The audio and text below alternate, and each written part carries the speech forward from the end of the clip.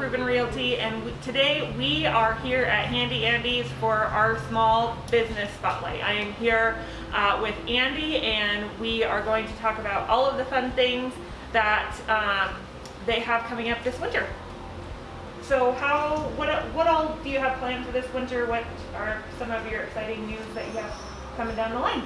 Well, first of all, I want to thank Proven Realty for, for considering us for this. It's a real honor and a, and a privilege to be able to visit with you guys as well. So thanks for uh, thanks for making this available to the community and, and doing your, your part to try and, and spread the word. Uh, do have a lot of fun things coming up here at the nursery this this uh, this time of year. Of course, it's not uh, like it used to be. You know, a lot of folks. Uh, we were talking kind of before we we recorded here about how it used to be just a spring thing. People would come for their flowers in the spring and they really didn't think about us other times of the year, and that really has changed. Uh, we began carrying Christmas trees and doing a, a sort of a Christmas season in 2012. We had our first year that we had trees.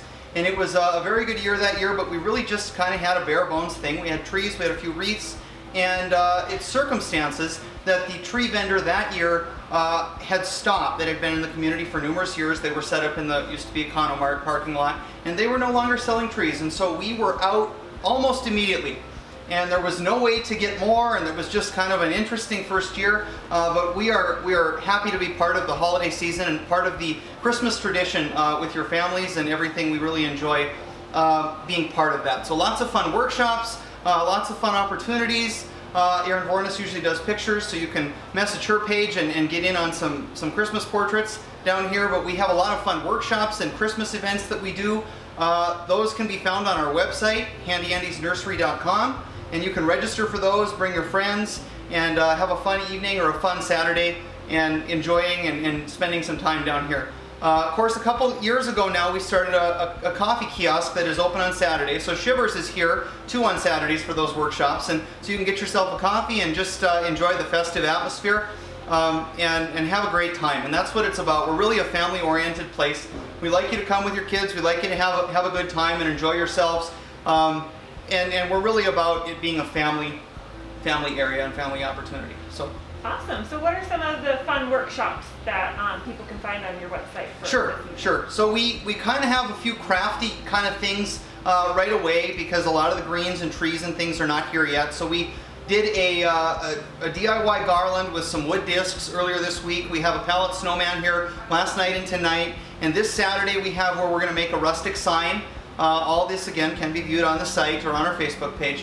Uh, a lot of painting, a lot of crafty type aspect to that. But next week we start with our greens and our garland and our wreaths and trees and things will all be here next week. So we have outdoor pot, holiday outdoor pots where we're gonna deck out an outdoor pot with some, some spruce tops and some greens and things and, and maybe some other glittery fancy things if you are, go, go for that kind of thing. If you're a natural uh, person or if you're a glitzy glammy person, whatever it might be, come to one of those uh, fun opportunities. A lot of those holiday pot workshops, that's probably the hottest of any of the workshops and they do fill up quite quickly. However, there were a few that backed out and there is some openings here on Friday evening at 7 o'clock. So there's a couple spots left on Friday, but some of these workshops are getting, are getting quite full.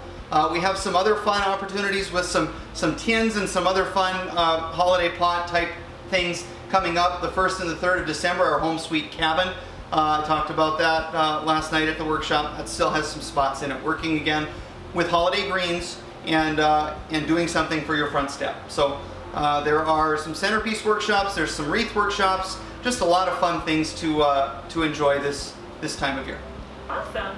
Uh, another question that I have for you is I know a lot of us are spending a lot more time at home due to COVID and everything going on here in 2020. What are some awesome indoor plants that you'd recommend to kind of spruce up the interior, kind of bring some joy into the house? Sure, absolutely, absolutely. Tropicals, as, as many know and some maybe don't know, are trending. Uh, they are just about the hottest thing uh, in a long time. They are back, back and popular, more popular than ever before. Uh, there are many plants that are great for indoor air. Of course, any plant that gets good light is awesome for air purification. It will help to increase the oxygen level in your home, provided that it has good light. And that is a challenge and a drawback for a lot of folks. They come in, they want to plant for a room that doesn't have a window.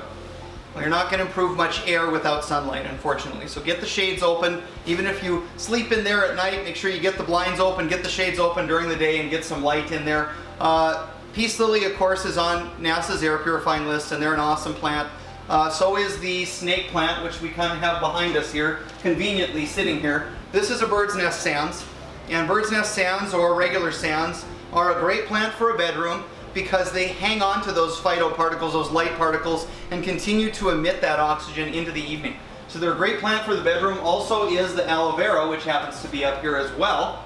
Aloe vera is a succulent. Some know it as a succulent. Some know it uh, as a burn plant, a medicine plant for, for burns. So this one also a great plant for the bedroom because again it does continue to hang on to that light particle and emit that oxygen into the evening. So uh, there are many plants that are good for air purification. Just about any pothos or philodendron, which I have a pothos here. This is pothos. This is the common uh, jade pothos. And jade pothos is uh, probably one of the more uh, tenacious or difficult plants to kill. Uh, pothos are extremely tough. Of course, snake plants are, are, tough too. But lots of fun and good options for uh, indoor air. And I do have a workshop after the first of the year that features, uh, it's called Clean Air Plants. And we'll talk about what goes into helping improve your indoor air. So awesome. with the use of plants. Sounds great. Thank you so much. Yeah. And so um, for everybody viewing, um, to stay tuned and learn about all of these things, um, where, where's the best place to find you guys at? Sure. So you can always find our workshops listed on our website. Go to handyandysnursery.com and there's a workshops tab at the top menu and you can view all the workshops that we have coming up there. You can request in the footer of our, our website to be uh, added to our email blast and so we'll send an email out when we release those. Uh, and then of course on good old Facebook, we're always on Facebook, but that kind of is the last um, place where they go. So once they go live to Facebook, sometimes they have started to fill already and they usually fill up quite quickly. So uh, visit our website, put your name and, email in that email address, and uh, also check out our, our, private Facebook page, the Friends of Handy Andy's page, uh, the Facebook pa group page there. That will get you kind of on the inside track because once they get published as events on Facebook, they fill up pretty quickly. So. Awesome. Well, thank you so much for your time today. Is there anything else that you'd like to let everybody, uh, the viewers know about?